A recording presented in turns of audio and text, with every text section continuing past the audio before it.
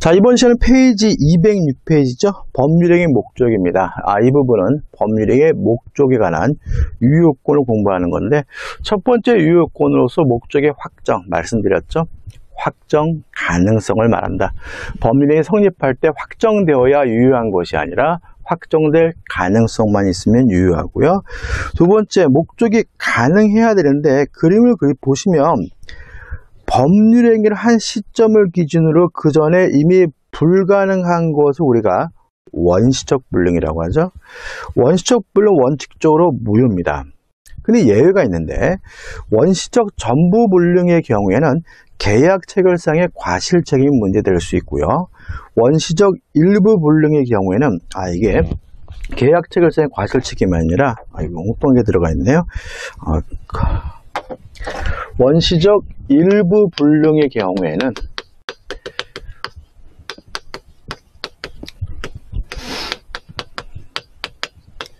담보 책임이 문제될 수가 있습니다. 아, 담보 책임 중에서 수량 부족 일부 멸실 문제가 되거든요. 근데 이 부분은 우리가 여기서 정리하지 않고 계약법이 정리할 거예요. 그 다음에 법률행위를 할 때는 가능했는데 법률행위를 한 후에 불가능하게 되면 후발적 불능이라고 하고 후발적 불능은 유효합니다. 따라서 따라서 책임이 발생하게 되는데 만약에 채무자에게 규책 사유가 존재한다면 채무 불이행, 이행 불능 책임 문제로 가고요. 채무자에게 규책 사유가 존재하지 않는다면 이거는 뭐죠? 위험 부담 문제로 가요. 이 부분도 우리가 계약법이죠. 그래서 이 목적에 가는 부분 우리가 계약법에서 정리할 거니까 좀 참으시기 바라고. 그 다음 네 번째 목적의 적법이죠. 이거 제가 전 시간에 간단하게 말씀드렸는데 넘겨보시면 이미 법규 위반된다 그래서 유효한 아, 무효가 아니라 유효하고 강행법규 위반하게 되면 무효가 되는데 강행법규를 위반했다는 이유로 무효가 되는 것을 우리가 효력 규정이라고 하고 민법상 강행복규는 다 효력 규정이죠. 이에 반해서 강행복규지만 위반하면 처벌이 받을 뿐 효과 자체는 무효가 아니라 유효한 경우로 우리가 단속 규정이라고 하고 단속 규정 위에 저번 주에 우리가 두 가지 기억하자 그랬죠. 첫째, 중간 생략 등기 금지 규정. 두 번째, 주택법의 전매 금지 규정은 단속 규정이다. 이 두 가지 꼭 잊지 마시기 바라고 그 다음에 이제 목적의 사회적 타당성이죠. 103조 보시면 선량한 풍속 기타 사회질서 위반한 사항을 내용을 하는 법률행위는 무효로 한다 해가지고 나와 있죠. 그래서 이 반사회적 법률행위는 잘 정리하셔야 되는데 공부하는 방법은 208페이지 상단에 있는 핵심 강의 노트 확실하게 내 것으로 만들고요. 그 다음에 사회질서 위반의 내용을 한번 여러분들이 한번 좀 읽어보시면 되는 거죠. 한번 정리해보죠. 자, 반사회적 법률행위입니다. 반사회적 법률행위에서 우리가 꼭 기억해야 될 것은 첫째, 법률행위 자체가 반사회적인 경우죠. 뭐 범죄계약, 첩계약, 도박 이런 것들을 말하고 이 법률행위 자체가 반사회 질서적인 거, 법률의 자체가 사회 질서에 반하는 경우로서 우리가 꼭 기억해야 될 것은 뭐냐면 아, 변호사의 형사 사건의 성공 보수 약정은 반사회적 법률에서 무효라는 것이 우리 판례 입장인 거죠. 과거에 이 판결 전에는 어, 변호사가 형사 사건에 대해서 성공 보수를 받았거든요. 그러면 과거 것까지 싹 무효가 되느냐 이 문제에 대해서 우리 판례는 법률 행위 시를 기준으로 해서 사회 질서에 반하는지 안 하는지를 판단하는 거다. 따라서 이 판결 전에 이루어진 변호사의 형사사건에 관한 성공보수 약정은 유효하지만 판결 후에 이루어진 변호사의 형사사건에 관한 성공보수 약정은 반사회적이라는 이유로 무효가 되는 거죠. 자, 우리가 기억할 건 두 가지죠. 변호사의 형사사건입니다. 민사사건은 무효가 아니라 유효해요. 변호사의 형사사건에 관한 성공보수 약정은 반사회적이고 무효고 반사회적인지 아닌지 여부는 언제를요? 법률행위 시를 기준으로 판단하게 되는 거죠. 두 번째 기억할 것이 법률행위 자체는 사회 질서에 반하지 않지만 근점적 대가 결합됨으로써 반사회적 법률 무효가 되는 경우죠. 다시 말하면 나쁜 짓은 아닌데 돈을 받기로 하면 돈을 주기로 하면 반사회적 법률에서 무효라는 의미가 돼요. 뭐가 있냐면 정당한 증언이죠. 만약에 허위로 증언하기로 했다면 따질 필요 없이 반사회적인 거죠. 근데 정당하게 본대로 증언하기로 했더라도 돈을 받거나 돈을 주기로 했다면 반사회적 범죄는 무효고요. 그 다음에 공무원이 정당한 직무집행입니다. 뭐 부당한 직무집행을 하기로 했다면 따질 필요 없이 뭐가 되죠? 반사회적이겠죠. 그렇지만 정당하게 직무를 집행하기로 하는 것 자체는 사회 질서에 반하는 것은 아니죠. 다만 돈을 받거나 돈을 받기로 했다면 뭐가 되는 거죠? 반사회적 범죄에서 무효가 되는 거죠. 그 다음에 이제 우리가 꼭 기억해야 될 것은 반사회적이지 않은 거예요. 그러니까 구별해야 되니까 이걸 기억해야 되겠죠. 우리 판례에 따른다면 인간 본성의 발현으로 인간이면 당연히 하는 것으로 판단된다면 서로 그것이 나쁜 짓이라 하더라도 반사회적이지 않다는 것이 우리 판례의 입장인 거예요. 뭐가 있습니까? 세금 및 채무회피죠. 따라서 어떤 형태든 세금을 안 내려고 하는 행위, 어떤 형태든 채무회피, 돈을 안 갚으려고 하는 행위, 강제 집행을 피하려는 행위는 반사회적 법률 행위가 아니라는 거 꼭 기억해 두시기 바라고요. 그 다음에 비자금 범죄 자금을 은닉, 숨기는 행위도 반사회적이지 않다는 것이 우리 판례 입장이라는 거 꼭 기억해 두시기 바라고 그 다음에 투기행위죠. 그러니까 우리가 투기행위는 이익을 추구하는 행위잖아요. 그래서 이 자체도 인간 본성의 발현이기 때문에 투기 자체는 반사회적인 것은 아니라는 것이 우리 판례 입장이라는 거 꼭 기억해 두셔야 돼요. 요 어차피 요세 가지 꼭 기억해 두시기 바랍니다. 자, 반사회적 법률 효과 이렇게 간단하게 정리하자고요. 일단 반사회적 법률의 효과는 무효입니다. 무효고 절대적 무효예요. 따라서 제3자가 선이라 하더라도 보호되지 않고요. 또 반사회적 법률행위는 추인할 수 없습니다. 추인한다 그래서 그것이 새로운 법률이 되는 것은 아닌 거죠. 그 다음에 이행하기 전이면 이행할 필요가 없는 겁니다. 왜요? 무효니까. 다만 이행한 것은 불법 원인급여이기 때문에 반환 청구하지 못합니다. 자, 예를 들어서 만약에 첫 계약을 하고 그 대가로 아파트를 넘기기로 했어요. 그 자체는 반사회적 법률에 의해서 무효입니다. 따라서 이행하기 전이면 이행할 필요가 없는데 이전 등기를 한 후에 무효임을 이유로 돌려달라 요구할 수가 없는 거죠. 왜냐하면 이행한 것은 불법 원인급여이기 때문에 반환 청구할 수 없습니다.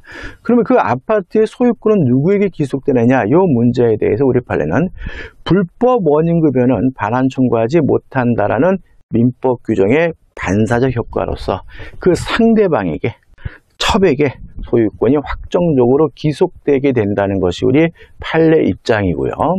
음, 따라서 따라서 어, 이 사람은 부당이득을 이유로 반환 청구할 수 없을 뿐만 아니라 소유권을 이유로도 반환 청구할 수 없다는 것이 우리 판례 입장이라는 거 꼭 기억해 두시기 바랍니다. 여기까지 하면 이제 반사회적 법률 효과까지 정리한 거죠. 자, 이제 우리가 이중매매입니다. 자, 여러분의 교재 209페이지에 있는 핵심 강의 노트 그림을 보시면 돼요. 자, 이중매매 이런 거죠. 자, 갑이 자신이 소유하고 있는 부동산에 대해서 을과 만나서 매매 계약을 했습니다. 그리고 또다시 어, 병과 만나서 매매 계약을 하고 이전 등기까지 해줬어요. 똑같은 물건을 두 번 팔아먹었으니까 우리가 이중 매매라고 하고 효과는 원칙적으로 유효합니다. 어, 따라서 우리 판례에 따른다면 첫 번째 매매 계약뿐만 아니라 두 번째 매매 계약도 원칙적으로 유효하니까 을과 병 중 누가 소유권을 취득하느냐? 먼저 등기한 사람이 소유권을 취득한다는 거죠. 따라서 두 번째 매매 계약을 하고 이전 등기를 받았다면 병은 확정적으로 소유권을 취득하기 때문에 을은 병에게 말소를 청구하거나 이전 등기해달라고 청구할 수는 없는 거죠. 그러면 을 제일 매수인은 어떻게 하느냐? 제일 매수인은 갑에게 이행불능을 이유로 해제한 후 손해배상을 청구하게 되는 거죠. 다시 말하면 첫 번째 매매계약도 두 번째 매매계약도 유효하니까 갑은 책임을 져야 돼요. 이행을 해야 돼요. 따라서 등기해 준 사람에게는 소유권을 넘겨줌으로써 책임을 당하고요. 등기를 못 해 준 사람에게는 채무불이행, 이행불능으로 책임을 다해야 된다는 의미에서 요 이중매매는 원칙적으로 유효한 거죠. 항상 유효하냐? 아닙니다. 예외적으로 무효일 수가 있는 거죠. 자, 만약에 제2매수인이 아는 것을 넘어서 적극 가담하게 되면 병이 갑과 을의 매매 계약이 있다는 사실을 단순히 아는 것을 넘어서 적극 가담하면 그때는 갑과 병 간의 매매 계약은 반사회적 법률에서 무효가 됩니다. 그러면 원칙적으로 유효하다는 말은 병은 선악 불문하고 소유권을 취득한다는 거죠. 아는 것을 넘어서 적극 가담해야 비로소 반사회적 법률에서 무효가 되거든요. 자, 그럼 무효가 되면 매매 계약도 무효고 등기도 무효니까 소유권은 갑에게 있는 거예요. 근데 갑은 병의 등기에 대해서 말소해달라 청구할 수는 없습니다. 왜요? 왜 무효냐면 반사회적에서 무효니까 갑이 병에게 이전 등기해 준 것은 불법 원인급이에요. 따라서 갑 스스로 무효를 주장하면서 병의 등기에 대해서 말소해달라고 청구할 수는 없고요.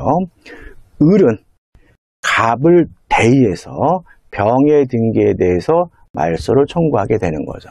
조심할 것은 제일 매수인 을은 요 적극 가담에서 무효인 경우에는 병의 등기에 대해서 말소를 청구하는데 직 접 말소나 이전 등기를 청구하는 것이 아니라 갑, 매도인을 대위해서 병의 등기에 대해서 말소해달라고 청구해야 된다는 거 꼭 기억해 두셔야 되고요. 그 다음에 이런 이중 매매를 사회행위로 취소할 수 있느냐가 문제가 됐는데 우리 판례는 사회행위가 아니다. 따라서 이중 매매는 사회행위라는 이유로 취소할 수가 없고 채권자 취소권의 대상이 될 수가 없다는 것이 우리 판례 입장이라는 것까지 꼭 기억해 두시기 바랍니다. 이제 추가할 것은 뭐예요? 자, 병이 자기 앞에 등기된 것을 기하로 정한테 팔아먹고 정하게 이전 등기를 했어요. 만약에 병이 적극 가담했다는 이유로 무효해서 병이 소유권을 취득하지 못하고 있다면 병은 선의라 하더라도 소유권을 취득할 수는 없는 거죠. 왜요? 반사회적 법률행위는 절대적 무효니까요. 여기까지 정리하시면 되고 이게 이제 이중매매의 전부죠. 자 이제 아, 불공정한 법률행위입니다. 페이지 210페이지에 있는 핵심 강의 노트를 보는데 이 핵심 강의 노트 그림을 보기 전에 먼저 법전을 한번 읽어볼까요? 제가 읽어볼게요. 당사자의 궁박, 경설 또는 무경험 인하여 현저하게 공정을 잃은 법률행위는 무효로 한다. 이거 우리가 불공정한 법률행위라고 하고요. 공정을 잃은 법률행위, 불공정한 법률행위는 뭐인 거죠? 무효인 거죠. 자, 정리해 볼게요. 자, 일단 이 조문에 따라서 불공정한 법률에 성립하기 위해서는 주관적 요건으로서 궁박, 경설, 무경험이죠. 근데 첫 번째 이세 가지 관계가 궁박 또는 경설 또는 무경험이에요. 무슨 말이죠? 셋 중에 하나만 있으면 된다. 궁박 또는 경설 또는 무경험이죠. 그 다음 궁박이란 뭐냐? 어려운 사정을 말한다. 따라서 경제적이든 정신적이든 심리적이든 어렵기만 하면 궁박인 거고요. 뭐 경설은 경설인데 무경험이죠. 자, 무경험 우리 판례가 이런 말을 합니다. 일반 거래 영역에서의 경험 부족을 말한다. 다시 말하면 특정 거래 영역에서의 경험 부족이 아니라 일반적 거래 영역에서 경험 부족인 거죠. 어떤 특정된 물건을 사본 적이 있느냐 없느냐 이렇게 따지는 것이 아니라 일반론적으로 그 사람의 경험이 부족한 사람이 아니냐 이렇게 따져야 된다는 것이 우리 판례 입장이라는 거 기억해 두시기 바라고요.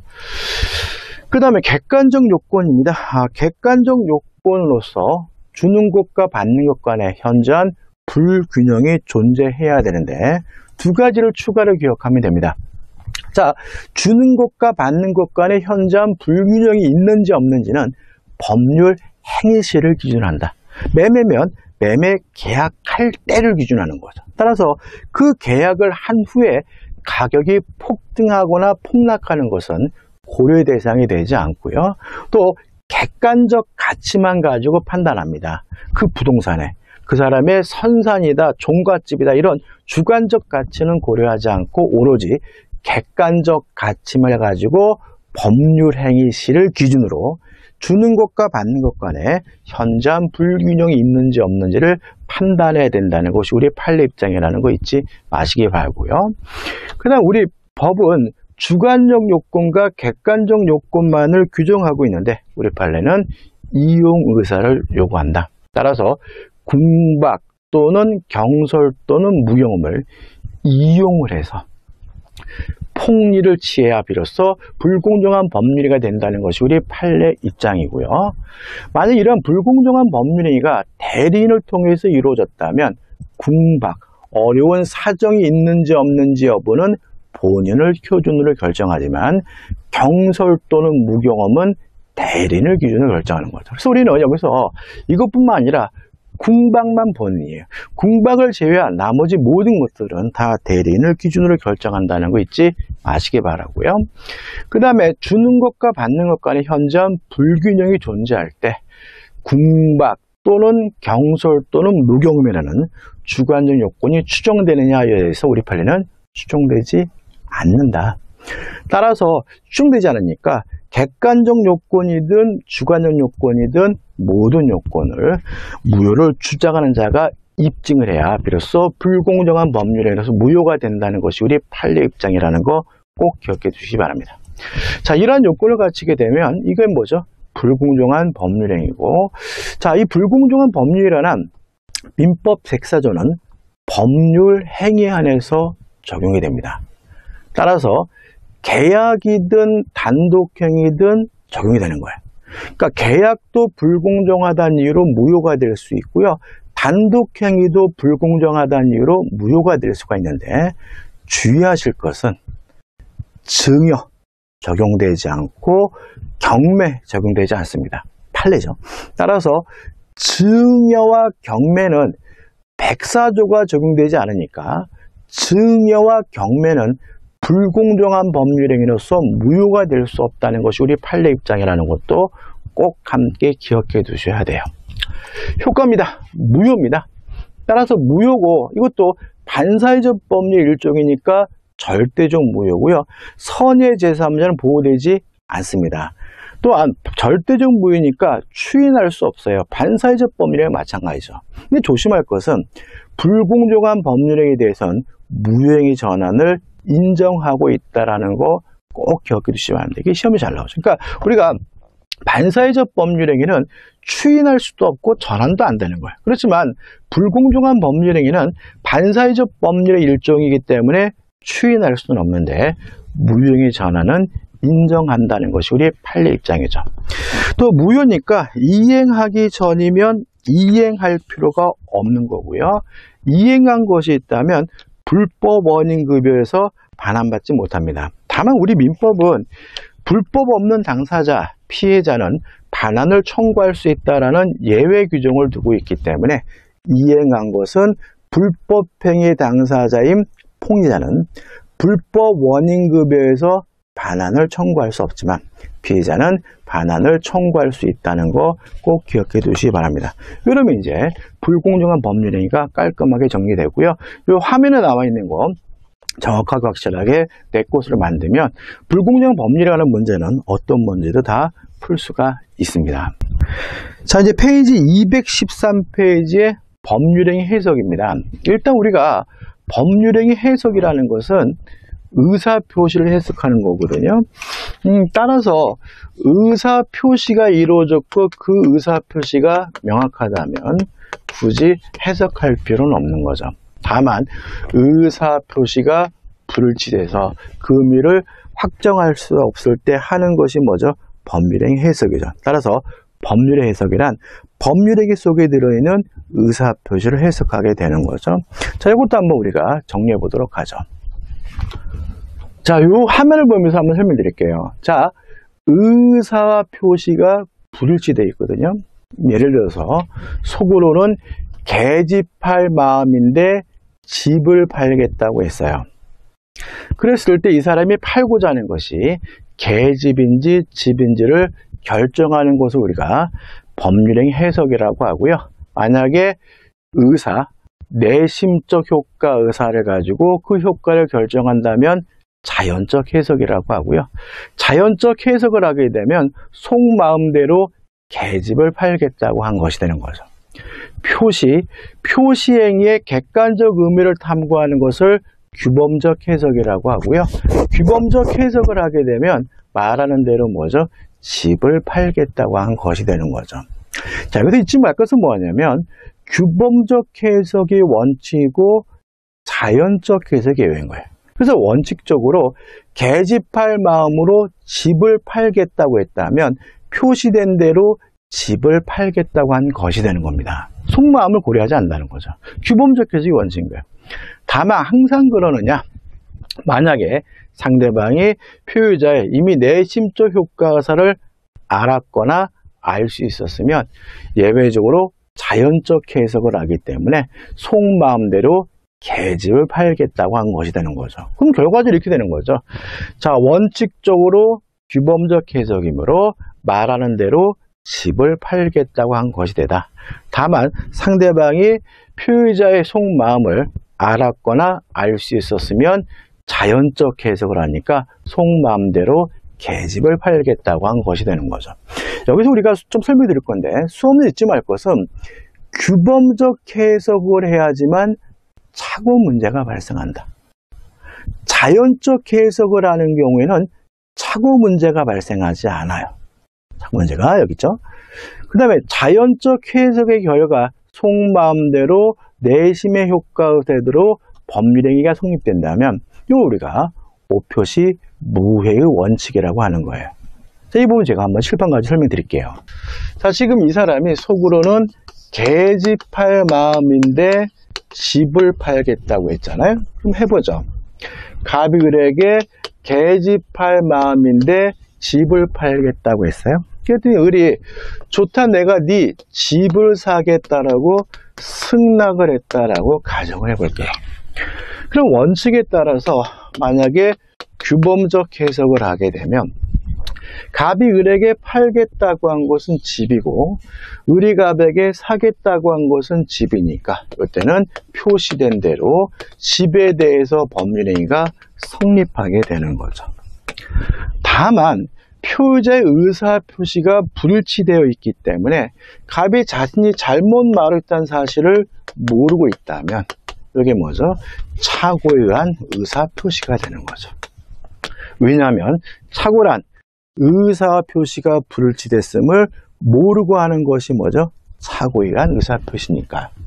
근데 이 사례를 만약에 똑같이 자연적 해석을 하게 되면 어떤 일이 발생하게 되냐면 자연적 해석을 하면 갑이 을에게 팔겠다고 한 것은 계집이고 을이 사겠다고 한 것은 집이니까 불합의로서 법률행위가 계약이 성립조차 되지 않는 거죠. 성립이 돼야 착오 문제가 발생하겠죠. 따라서 착오란 반드시 규범적 해석을 해야 되는 거다.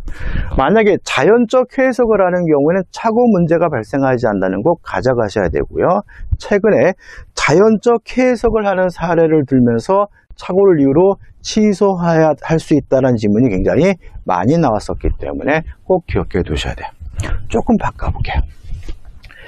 갑이 을에게 계집할 마음인데 집을 팔겠다고 했어요. 근데 상대방 을이 다행히 갑이 팔고자 하는 것이 집이 아니라 계집이란 사실을 알고 있었기 때문에 내가 네 계집을 사겠다라고 승낙을 했다라고 가정을 해볼게요. 자, 원칙적으로 규범적 해석이지만 상대방이 알았거나 알 수 있었으면 자연적 해석을 하게 되고요. 자연적 해석을 해야 되는 사례고 자연적 해석을 하게 되면 갑이 을에게 팔겠다고 한 것도 계집이고 을이 사겠다고 한 것도 계집이니까 계집이로서 계약이 법률행위가 성립하게 되는 거죠. 그러면 갑의 입장에서 계집을 집이라고 오 표시 잘못 표시했지만 원하는 대로 계집하는데 아무런 해가 없었기 때문에 이걸 우리가 오표시 무해의 원칙이라고 하는 거거든요. 따라서 오표시 무해 원칙은 자연적 해석의 결과예요. 자연적 해석의 결과니까 오표시 무의 원칙은 착오 문제가 발생할 수가 없는 거예요. 착오는 규범적 해석이어야 되니까요. 다시 말씀드릴게요. 자, 상대방이 알았거나 알 수 있었다는 이유로 자연적 해석을 한 결과 상대방의 의사대로 원하는 대로 법률행위가 성립된다면 이걸 우리가 오표시 무해의 원칙이라고 하고 착오 문제와는 상관이 없다. 왜냐하면 착오는 반드시 무슨 해석을 해야지만요 규범적 해석을 해야지만 착오 문제가 발생하게 된다는 것까지 꼭 기억해 두시기 바랍니다. 끝이죠. 자, 이제 214페이지 오시면 보충적 해석이 나오죠. 자, 이런 규범적 해석이나 자연적 해석을 했는데도 불구하고 그 의미를 알 수 없을 때 제3자 입장에서 하게 되는 걸 우리가 보충적 해석이라고 하고요. 이런 아, 그 다음에 법률의 해석의 기준이 나오죠. 여기 거 아닙니다. 첫째, 당사자의 목적인데 이게 의사표시예요. 목적이 원하는 바잖아요. 그죠? 따라서 이 규범적 해석이나 자연적 해석이나 보충적 해석은 당사자의 목적을 가지고 해석을 해본 거죠. 근데 이거 가지고 해석이 안 되면 그때는 사실행 관습으로 그래도 뭔 말인지 모르겠으면 임의 규정으로 그래도 뭔 말인지 모르겠으면 신의 성실 및 조리를 가지고 해석하게 됩니다. 암기할 문제는 아닙니다. 마지막으로 이걸 외워두시는데 법률행위 해석의 성실에 대해서 우리 판례는 법률 문제로 이해합니다. 따라서 법률행위 해석이 잘못된 경우에는 상고 이유가 될 수 있다는 것이 우리 판례 입장이라는 것까지 꼭 기억해 두시기 바랍니다. 시험에 잘 안 나옵니다. 아무튼 이 법률 해석 부분은 좀 추상적이긴 하지만 지금 제가 말씀드린 이 사례를 좀 이해한다면 충분히 극복할 수 있고요. 그래서 이제 법률행위가 끝, 법률의 목적이 끝났고 이제 다음 시간에 의사표시로 넘어가도록 하겠습니다.